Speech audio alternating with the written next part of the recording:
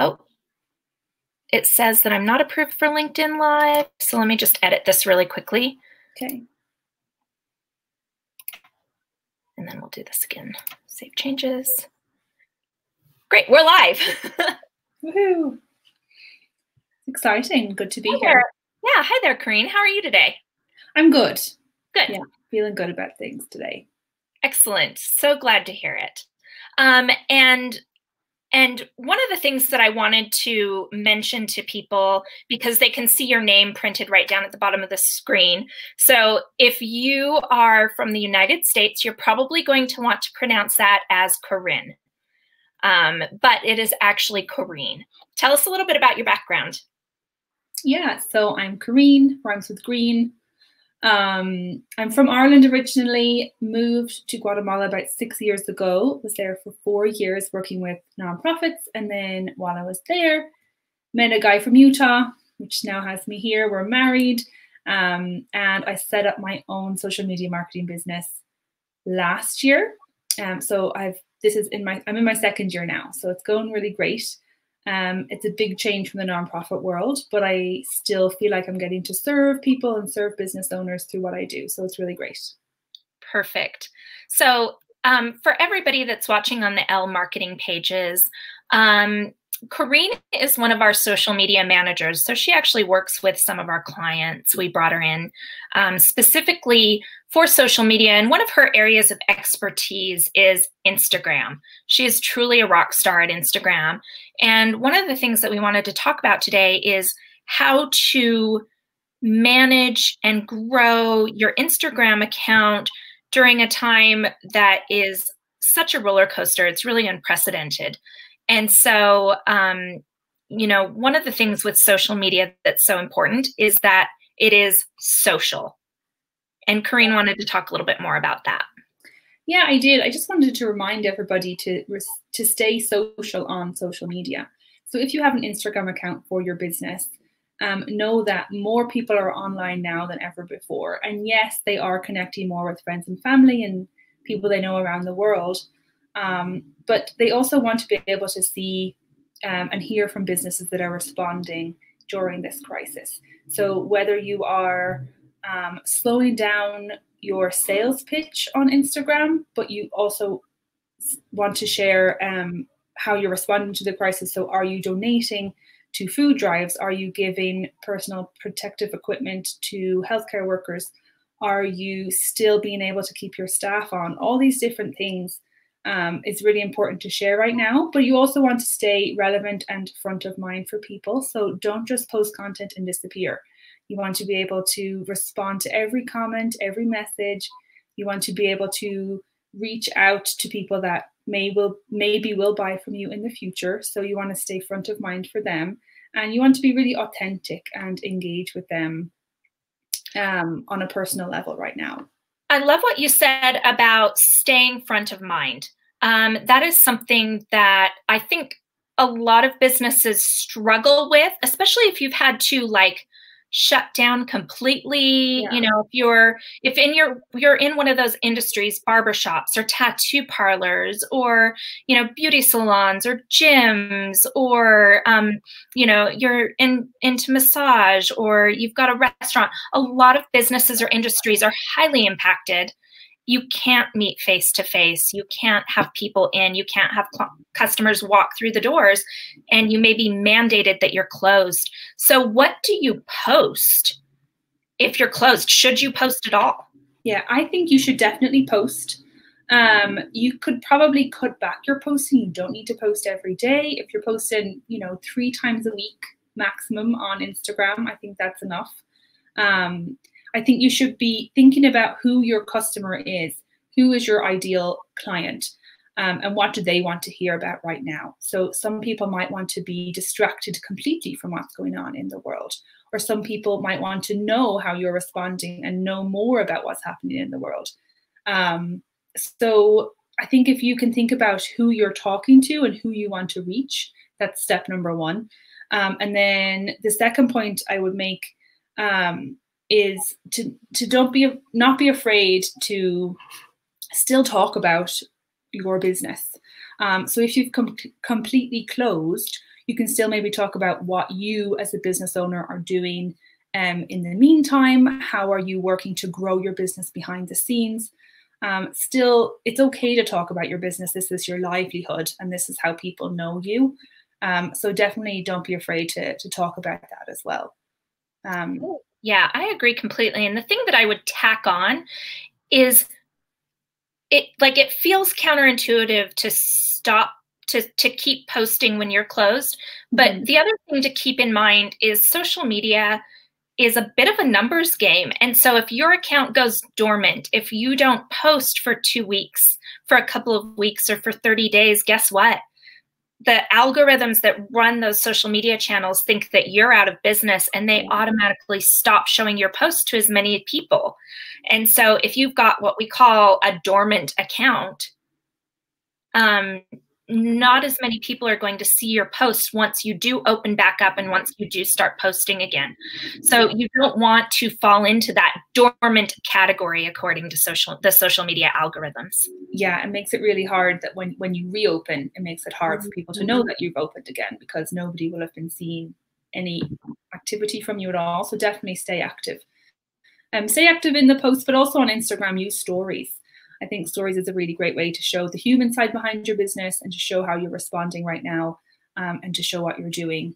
Um, so sometimes people don't like to show their face on there, but I think showing the human side of your business and telling your story and sharing the story of your business is really crucial right now. So definitely try to get on stories a few times a week as well. That is one area where we've really tried to pivot with a lot of our clients, showing the faces yeah. of of people even more so. We try to do that anyways but i think really telling the story of and showcasing these are the people that are being impacted um, by our by our business being closed or shuttered or reduced or that are being impacted positively by us being able to stay open even if it's just a little bit. Here are the people that you're supporting and helping. They're here in your community and that I think makes a big difference as well. Um, you know, you think about Facebook and Facebook, the word face literally is in the name of the of the mm-hmm. platform. People love seeing faces, and that applies to Instagram too. I think. Yeah, hundred um, percent.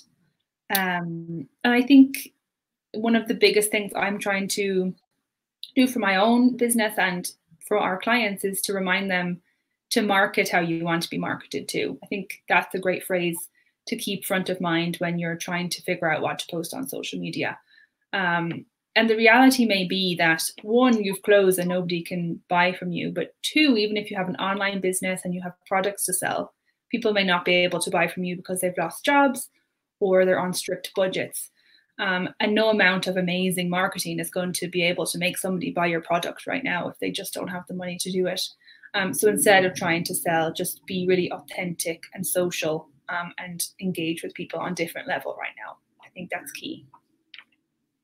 And I think be, when when we're saying be authentic, you know what does what does that look like? Because that is authentic is kind of a, a social media buzzword that we toss around a lot. Mm. But like, what's an example of being authentic? A brand being authentic? I think it is sharing the good, the bad, and the ugly um, in your business because we work mostly with small business owners. Um, and not every day is going to be a great day for a small business owner, especially now. Um, so share your wins, share your successes, but also it's so I I think it's okay to be like share, yeah, to, to share the not so great things. Like when you have to close your doors, let people know and let people know that it's hard, but that you really want to come back um, stronger after this. Um, or, you know, share something like you have pivoted your business slightly. So let them know that they can still buy from you and still support you in this way. Um, and what that means to you as a business owner and to your team. Um, if you could do um, interviews with people on your team, you know, let people know how they're coping with it. I think there's a lot that you can do to kind of show and share your story and all of your story. I agree. I think that the other, there's another component to that, we touched on it briefly earlier, but showcasing what it is how how you as a business or as a business leader or a member of your community how you're supporting other people how you're giving yeah. back um, and that makes a difference as well sometimes we're not great about shouting from the rooftops when we are giving it mm-hmm. feels mm-hmm. like um, it feels like tooting our own horn but now is not the time to be squeamish about that. If you are doing something great for your community, talk about it. Yeah, this is something I've struggled with myself because you don't want to feel like you're bragging on social media. But the reality is that what you're doing is a fact. It's a fact that you're helping your community or it's a fact that you're giving back. So don't be afraid to show the facts. And some if you can somehow kind of separate the personal feelings around it to just that it's the fact that your business is doing this i think you might be you might, you might find it easier to share those things. Absolutely. Um, so some of the things that i have seen businesses doing that are really working on on being authentic on social media are things like um, we work with a lot of chefs and restaurants, of course, mm-hmm. and they're mm-hmm. very much struggling right now. So chefs posting like their recipes of things that they're making from home. Yeah. And doing a story around that, or showing what they're feeding their kids, or showing how they're stocking their fridge at home. Yeah. Um, I even saw one chef that showed, like, showcased the principles you use in restaurants, which is called first in, first out, where you oh, yeah you know, where you make sure that you've got a strict rotation so that food is being used properly, so it's not going to waste, which is something that all of us can use right now since we're spending more time at home and cooking from home. Um, have you seen anything else interesting out there that people are doing? Um, I've seen a lot of interesting things done on Instagram stories. Um, and there are things that people can easily share um, and link back to your account. So whether it's um, like there was one called a jar full of me, and somebody had drawn this little jar. Um, and then it was up to everybody who found it to put in um, little gifts and pictures within the jar and share it. And then they could tag that. I think it was a graphic designer that did it for mm-hmm. her small business. I but that it. went huge. And I saw so many people posting and sharing that in their stories. And it was a fun way to link back to that person's account, but to also share more about who you are and what you're doing right now. Um, now that more of us are at home. So I think um, sharing different graphics and things like that on your Instagram stories is really great. Well, um, and I um, love that it's it's fun, it's playful, it gives people a, a, like a little moment of distraction. Yeah. Mm-hmm. Um, and it also uh, create it gamifies things. So that's kind of a marketing term that we use quite often but gamifying something making something playful making something feel like a game that has yeah. a marketing component or a personal branding component to it um, i think is really really unique. Yeah it's really fun. And a lot of people well depending on who your customer or ideal market is a lot of people do you want to be distracted right now?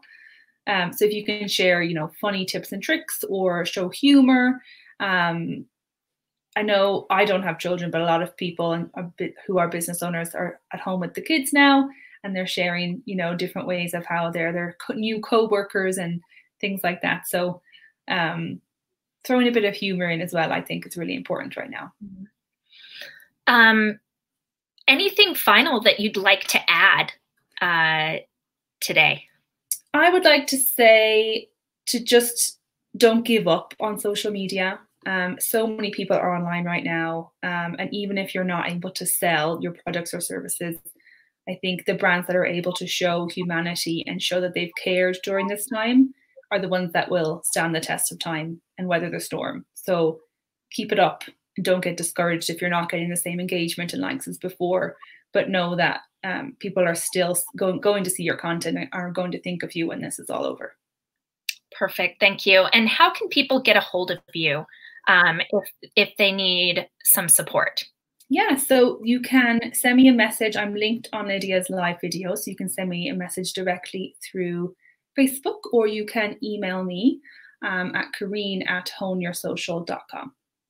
Perfect. Well, thank you so much for being here today. Thank you, everybody who listened in. Um, please do send us comments um, either now or uh, afterwards. We'll monitor those and respond as best we can if you have questions or need any type of support. Thanks so much, Corinne, for being here and have a really lovely day. Thank you. Same to you. Thanks for having me.